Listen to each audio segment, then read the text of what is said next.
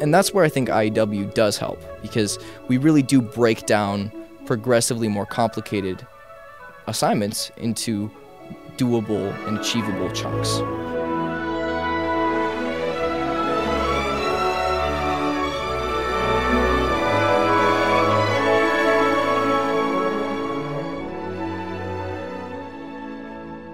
Hello, and welcome to the Arts of Language podcast with Andrew Pudewa, founder of the Institute for Excellence in Writing, or as many like to say, IEW. My name is Julie Walker, and I'm honored to serve Andrew and IEW as the Director of Marketing. Our goal is to equip teachers and teaching parents with methods and materials which will aid them in training their students to become confident and competent communicators and thinkers.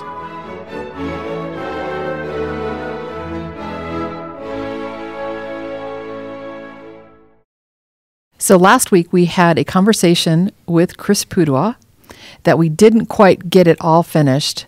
And so today we're going to pick up kind of where we left off. But Chris, of course, you are Andrew's son. Can you give just a little bit of a recap of your life growing up with Andrew Pudewa as your father? It was hectic, um, but I was blessed in many ways. With, I do believe he's he's extremely intelligent and well informed on a lot of areas that can help with education, and I happen to be homeschooled, so put the two together and hopefully you get something good. that's right. That's right. And so you you shared a couple stories last time, and of course, I just will encourage our listeners to go back and listen to that first part of this interview, and then we'll just pick it up there. So you told a story about some struggles that you had when you were eight years old in Sunday school. You came home and talked to your parents, and that's when you first realized hmm, I'm not the same as everyone else. Mm-hmm. So tell a little bit more about your journey because mm-hmm. clearly, right now, you know, college student, uh, successful in some businesses that you're working on. Clearly, you can read and write well. That's what you think. did a talk at a recent homeschool conference. And so, how did you get from that eight year old boy that couldn't read to where you are today? I think of a lot of it had to do with how my parents dealt with the situation. And I'd like to first say, I mean, it wasn't perfect. And if you have a child with dyslexia or with some significant difference in the way that they process information, there's going to be a lot of customization that's going to go into the education and a lot of mistakes that are going to be made. But I do think that there are some things that I found helpful um, that my parents did that maybe you know, our listeners can take take a little bit of information away from. After I learned that I had dyslexia, and that dyslexia wasn't just this limitation that prevented me from reading like my friends, but was also somehow associated with, you know, geniuses like Einstein, or uh, a modern example would be Richard Branson. Hmm. Uh, who's a billionaire, has multiple different subsets of his company, but he has, you know, airlines, multiple different aspects of it. He's dyslexic, extremely dyslexic mm. to this day, has difficulty reading. Um, once I learned about those situations, I started to, to gain some confidence. But on a practical level, I still couldn't read. And when you can't read, teaching stuff or learning stuff rather is very difficult, mm-hmm. right? You can't put your kid down with a book and have them read about geography. You can't put your kid down with a book and have them read about science. You can't put your kid down with a book and have them read about mathematics. Mathematics, you know, there's examples, but if you look at a textbook, there's still large blocks of text that explain what each section is doing. And so I, I didn't have all that. So it had to be much more intensive. And initially, I was being kind of educated alongside my sister, my younger sister. She's three years younger than me. And at the time, she was, I think, five or six. Um, and what became quickly apparent was that she was vastly superior to me in the mm. area of reading and remembering. And I started to, to, this started to get to me. You know, like I can't imagine why. right? It, it, started to get to me that my younger sister was, you know, reading things perfectly, and I was, you know, s- couldn't get through the word the, you know, to, he, uh, to, to, to the, you know, and she was just blowing by these words. So my mom noticed this and she actually stopped educating me personally. Um, mm-hmm. Um, at the time, I didn't realize why she'd done this. And it was actually kind of something which I wish she had explained better, her reason for doing it. Um, but sh- she she left my education up to my older siblings, specifically my older sibling Genevieve and Moriel. Mm-hmm. Um, they would take turns teaching me, and actually, it, it was a good experience. I, I did learn a lot. Um, I went to my sister Jen had a little um, mobile home on my parents' property that she was living in. She's a lot older than me. For those listening, she's she's got to be 10, 15 years older than me. Yeah. So she's a lot older than me. So she had this little house on our on our property and I would go to her house I think 3 times a week and she would work through things like poetry memorization, through math math facts, through things that she could teach orally and I could listen to and and I would stand on my head while I memorized them and jump around her room and basically do whatever I wanted. And allowing my physical body to do stuff did help quiet my mind and let my mind do stuff. I, I also have attention deficit disorder, uh, which, if you're listening, maybe that, that explains my brain. but I do have attention deficit disorder. And for me, being physically active while learning was a huge, huge advantage. However, there was another thing that my parents did when it came to my education that I think was pretty significant, and that was hooking me up with audiobooks. Oh. They, my dad realized quickly that if you can't read, you can't gain a literature experience without it being read to you. And so, in order to get those language patterns kind of ingrained, he actually set me up with an audiobook, or uh, originally it was, you know, a cassette player, and I would get the audio audios on tape and I would actually put them in.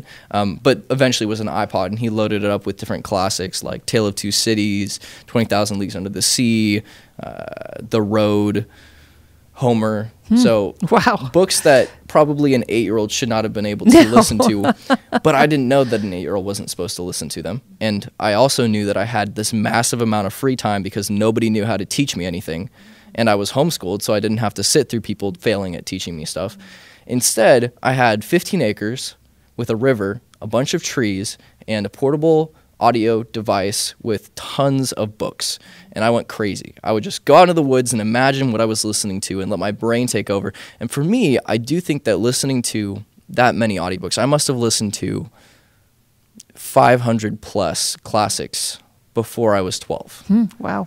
and listening to all those audiobooks i do feel helped me in the future when i started to be able to read and write well. Hmm. Because i was able to kind of see those patterns in ways that people who had been stuck by reading you know easy readers might not hmm. have gotten to i do think that kids are underestimated too hmm. i think that their level of comprehension is much higher than their level of reading even for regular readers Right. And I think about when you say that, Andrew talks about the importance of reading out loud to your children, even when they are already reading, because you can read to them mm-hmm. at a higher level. Right. And kids can understand it. Mm-hmm. You know, if they can't understand it, they'll just try and piece it together as best they can. And maybe in the future they'll have a revelation and be like, oh, that's what it meant. I had a bunch of those. I remember always like thinking, as I kind of like read more books, I would understand things that had happened in previous books and, you know, think laterally about books. As we talked about in the last, last, uh, podcast, we talked about dyslexics thinking laterally versus specifically. So I would think laterally about different books and connect connect themes through them. Right. Good. Okay. So at what point did it click for you? When did you start re- actually reading? So there were two things that my parents tried in addition to my siblings helping me and giving me a bunch of free time and an audiobook. They also tried uh, Lindamood-Bell, which was a I don't know if it's a national program, but it was a program in California at the time where they would help you with. I think it was, I went for reading, but I do think they had a mathematics aspect to it too. So I went there for about I I have now heard that it's a month, but because of how I felt during that period, it feels like a year Okay. in, in my memory. But it was it was about a month. I actually changed my name when I went to Lindamood-Bell because I wanted to be a new start. I wanted to Aw. get the the dyslexia beat. So I, I switched from Scott, my first name, to Christopher, my middle name. A funny story is that my dad went in to talk to the teacher who was working with me, and she said, "So Christopher's been making some good progress." He was like, Who's uh, Christopher? "Are you sure that's my son?" That's he had no idea. Um, but unfortunately, Lindamood-Bell did not help too much. And the reason why I believe it didn't help too much is because it was very phonetic based, and dyslexics have a, a mental difficulty with phonetics. Scientists did a pretty cool study recently where they had dyslexics and non dyslexics read a, a paper. And for dyslexics, the front area of their brain, it's the Broca's area, was hyperactive, five times more energy expended in the frontal area. Um, but the other areas where other readers were able to almost like subconsciously automate their reading were completely dormant, not not evident at all. And the the Broca's area is used for language, but it's more used for speaking. It's not really used for for written language. And so trying to compensate for a lack of those other areas with the frontal area is what can can be so frustrating for dyslexics. Mm-hmm. Linda Bell focused on the phonetic aspect, but that was an aspect which is was very difficult for me personally. Mm-hmm. That being said, I have heard of dyslexics that were able to make lots of progress with phonetics, but for me personally, it just confused things more. I had to learn more letters with little squiggly lines above them, and it was just added complexity and difficulty. The second thing that my parents tried after Linda Bell was Davis dyslexia. And that was where I can probably say a breakthrough happened for me. I was a little bit older, I think uh, 11 at the time, um, 10 or 11 at the time. And Davis dyslexia has a two prong approach for tackling dyslexia. So, dyslexics tend to be very visual learners.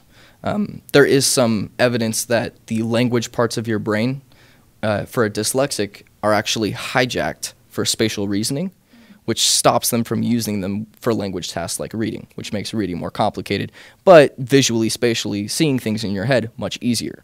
That's why you have a lot of architects that are dyslexic. So the Davis dyslexia approach uh, teaches writing by using visualization. That's their first prong, and then the second prong it works with laterality. So you know. Uh, juggling or moving things hand to hand to try and connect the different hemispheres of the brain because that can also be an uh, area which some people would theorize impacts dyslexia. Being left brain dominant, which causes you to have more difficulties with, with reading and writing. I don't know which aspects of those helped me most, but I do think it that the the visualization worked really helped it. What, the, what they had me do, um, and this might sound a little bit weird, is they had me re-memorize the entire alphabet as clay letters. Oh. So I would build the clay letters and memorize the clay letters. And the idea was that a dyslexic wants to see everything visually remember we talked about how spatial reasoning is hyper hyper prioritized in a dyslexic brain. So in order to take advantage of that, the D- Davis Dyslexia Program has you build the letters out of clay so you can spatially memorize the letters in a 3D format. That way, when you're seeing a 2D letter on a page, your brain doesn't try to flip it anymore because it already knows what it looks like flipped. Oh, okay. So they had they had me do that, and they had a, different visualization exercises uh, to kind of strengthen that skill that dyslexics generally have the ability to you know take an object in their brain flip it around in multiple ways and if you're listening and you, and you have a kid that really loves to draw but can't read at all they're probably a little bit dyslexic because they love to try and get what's in their head on paper um, because they can see it so three-dimensionally so they had visualization exercises reworking the alphabet and also some some work with just cross coordination moving things across across that plane and i do think that after that in the next month, I I read my first book. Mm. It, I didn't actually read my first book. That's a lie. I like to say it. Um, but I read the the last third of the book that my dad was reading to me. And, and we had a little game going on where he would read to me while I was doing the dishes. Uh-huh. And the reason why I had to do this was because back in those days, headphones had these horrible cords, which yes. we now lo- no longer have to deal with. And when you're washing the dishes, water is everywhere, the cords are flying, your headphones fall off into the water. It's just not very practical to listen to audiobooks while you do dishes. But it's it's very practical to get your father to read you books while you do the dishes. And and one time while this was happening, I thought I really hate dishes. Aww. And I kind of feel like I can read better now what if I read and he does the dishes oh, for nice. me? So I, I flipped the script. I said, okay, I will read and you do the dishes. And he was all about it. yeah. Inside, he was all about it. On the surface, maybe he made it seem like a, a, a tough bargain, but but deep inside, he felt very positive about it. Um, so we switched. He did the dishes. I finished the book. I went on to read another book after that. Uh, the book I, I, originally read was Bridge to Terabithia. Okay. I finished the last half of it, and then I read uh, Bark of the Bog Owl, which was like a it's like a fantasy novel that just kind of reimagines our current world, I would say. It's a pretty good book. I remember it pretty well, and it was a long time ago, so I'd, I'd, have to say it was a good book. And so that was when I really first started to to read. That being said, I had a, a deep fascination with writing before that, and thankfully my parents would would just sit down and let me dictate what I wanted to write to them way ahead of time. And this is where I think I think kind of IEW plays into my education because IEW teaches you how to make keyword outlines and really messy rough drafts. Wait a minute, wait a minute. You're saying you actually used IEW? as little as I could. No. I used it, I used it a lot. You know, I sat in on all the classes that he would teach close by, and and uh, I I did it by myself, and I understand the system decently well.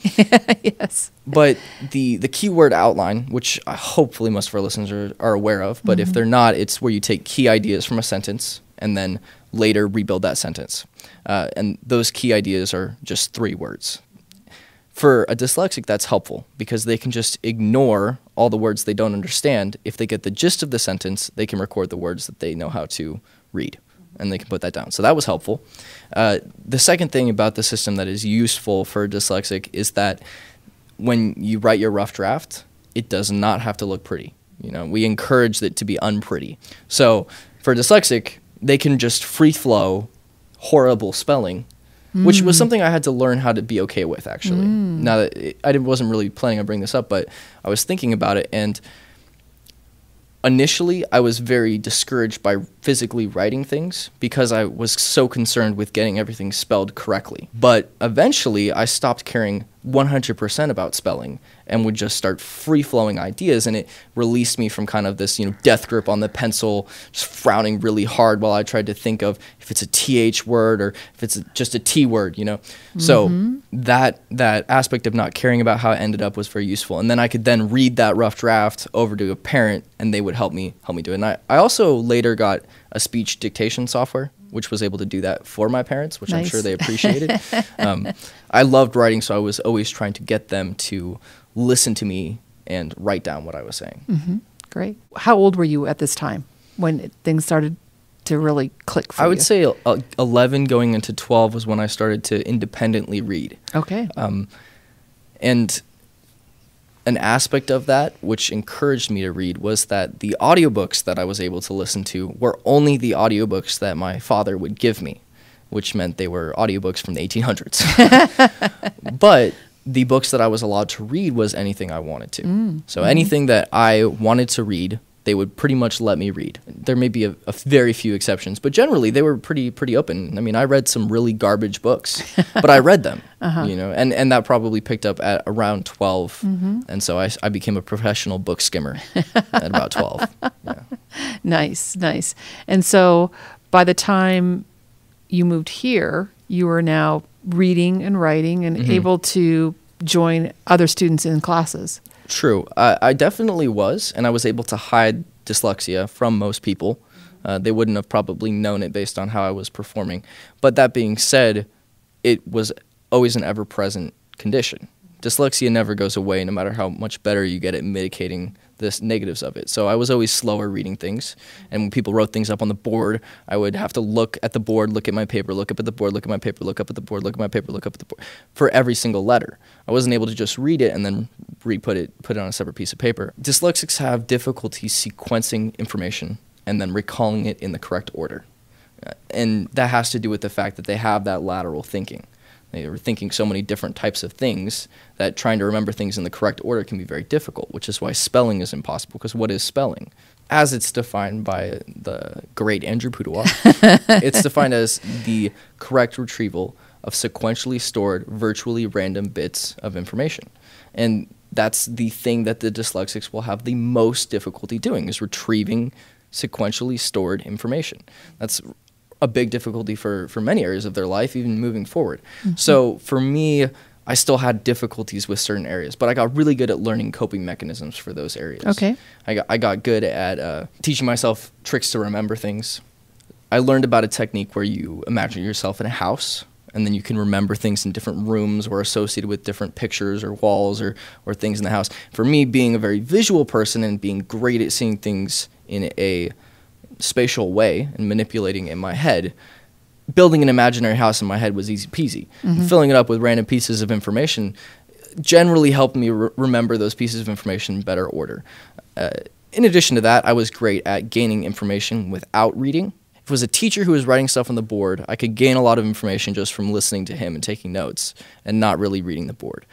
And and vice versa. You can pick up on how other people talk or how other people are thinking about something and gain a lot of information about the text. I used to when I was much younger, I used to read through these illustrated books. Uh, they were they were highly abridged versions of classic books, and there was one. It was uh, Gulliver's Travels. Okay. And it had a picture for every single page of the book. Oh, nice. And so I would just look at all the pictures for the whole book and basically get the whole story from the pictures, which was really fun. But Mhm. you, uh, a a dyslexic, one of the things that Richard Branson uh, says was the the biggest factor that helped him become an entrepreneur was that because he was dyslexic, he had to learn information in unique ways. He had to pick up on it in different ways. And picking up on that information in those ways was something that you have to learn as a dyslexic in order to function like anybody else. So I know that there's a lot of teachers and parents who are listening to this who are just amazed at your story. Do you have any specific recommendations to them that will help them as they're coaching and guiding their students, their children? So I would have a few recommendations. The the first recommendation I would have is to play to their strengths, not to their disabilities. Mm-hmm. There's a, a natural tendency to try and correct something that's wrong. And for for a dyslexic, a teacher of a dyslexic, what looks wrong is their spelling or the way that they can't read something out loud to you or they can't remember those math facts no, no matter how many times you drilled them on it. That seems wrong and you want to correct it and you want to focus on that. But what you're forgetting is that all of those things that they're worse at are areas that their brain has allowed them to be worse at in order that they're better at different areas. Their brain has hijacked their language centers for spatial reasoning, for lateral thinking. So if you have a, dys- a dyslexic child or you have a dyslexic student and they have an interest in something where they really feel like they're good at it, tell them they're good at it. Make sure mm-hmm. that they know that they are good at that and that they have a gift which could help them become phenomenal at it and mm-hmm. play to that strength. Mm-hmm. On, on a more basic level, uh, give them the tools that mitigate the issues that they face and allow them to pursue the things that they're good at. Mm. Don't focus on the negative, focus on the positive.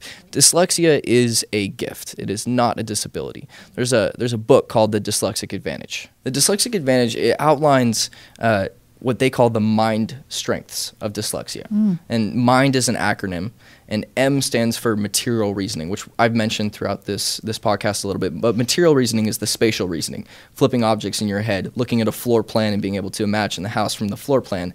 There's a famous story of a, a dyslexic architect who was able to look at a floor plan and imagine what looking out of the top building window would look like. And he was able to tell them that they would see this one tree in this angle, and so they had to remove the tree. And he knew about all of it just from looking at the floor plan, and that was his ability to spatial reason. Um, the second is I, which stands for interconnected reasoning. And I've also talked about this. That's the lateral thinking, right? Because dyslexics have further apart uh, microcolumns, they're able to think across larger regions of their brain, which allow them to connect different things. That's why you have 40% of entrepreneurs who are dyslexic. Because what is an entrepreneur? Someone who sees a problem and reaches out to a place nobody has thought of before and fixes the problem with that solution, Right. which is interconnected thinking. The third is narrative reasoning. And this is something that a lot of parents will probably agree. Their kids love to tell stories. Okay. Dyslexics love stories and they can paint really good pictures and they can paint like descriptive narratives and use it in order to convince people to do things or not to do things.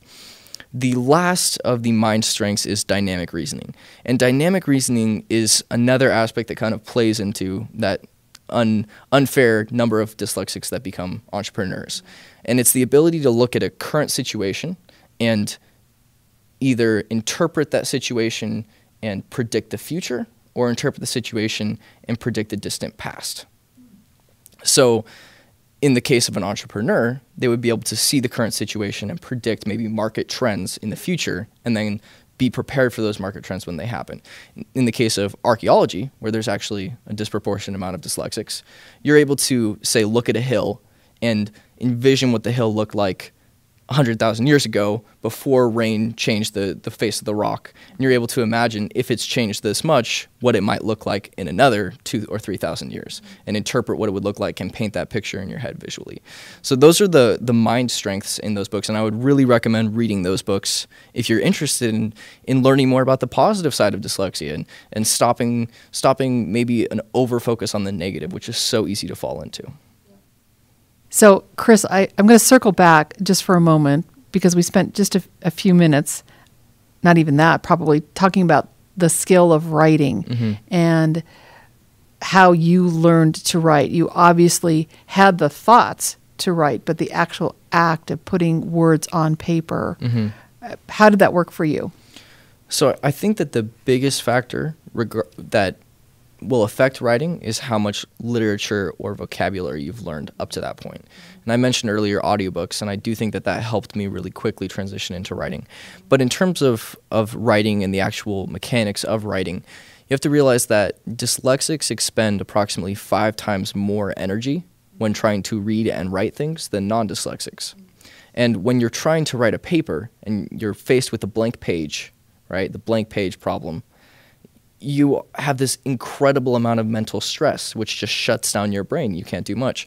The advantage of the IEW system is that you don't have to face the blank page problem, and you can break things into very small and achievable tasks depending on the level. So if your if your kid is dyslexic and has difficulty writing things, and you're helping him write them down. He's he's narrating it out to you, but it's still stressful for him because you know he doesn't know if you're going to get it correct, and he doesn't really speak in correct sentences yet because he hasn't had that language base come inside. If he just has to focus on one paragraph, you know, or he just has to focus on one sentence at a time, he's going to be much more.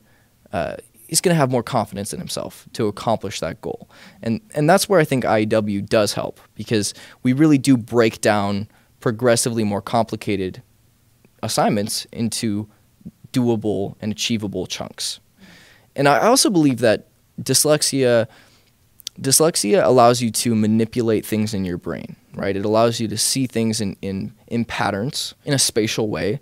Writing is actually very spatial. Yes. You have to, once you get past just putting things on paper and the mechanics of spelling and all that, if you ignore all that and use autocorrect and use speech software, writing is actually very uh, like a puzzle piece, mm-hmm. right? And as you learn things, as you learn like the who which clause, as you learn different aspects, the, the stylistic techniques, you start to see the patterns of language and how you can rearrange those patterns to tell points in different ways. You can take a clause here and insert it over here. You can space things out. You can make that, you know, a dramatic fragment. Like your mind will start to see things in a visual way, despite the fact that it's writing. And I think that focusing on the stylistic and structural side of writing really allows dyslexics to start to have fun with it and see it more of a visual way as opposed to a, a, a task or a chore. So you're in college now. Do you ever have to write papers in college? So I, I do have to write papers for, for school, and it's I'm pretty good at it. Mm-hmm. I don't really struggle too much writing anymore. Uh, my spelling will probably always be worse than someone without dyslexia. And my reading speed will probably always be a little bit slower than someone without dyslexia. But my ability to think is unique and I'm able to translate that into words. And I think that it, it gives me a skill in terms of arranging my ideas and arguments in, in a particular way. So I would say at this point in my life, dyslexia really only has advantages for me, and it doesn't have many disadvantages. Great. Well, Chris, this has been a delightful conversation today and last week as well. And thank you for being willing to be on this podcast in place of your father yeah. while he's out traveling. And yeah, second best is still good, right? That's right. That's what they say. Thank you. Yeah, you're welcome.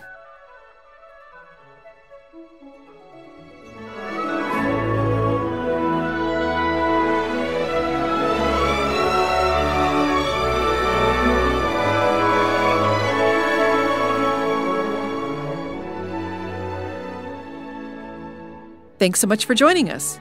If you enjoyed this episode and want to hear more, you can subscribe to this podcast in iTunes, Google Play, or Stitcher, or just visit us each week at iew.com slash podcasts. Until then, on behalf of Andrew Pudewa and the team at IEW, I thank you for the privilege of allowing us to partner with you on your journey toward better listening, speaking, reading, writing, and thinking.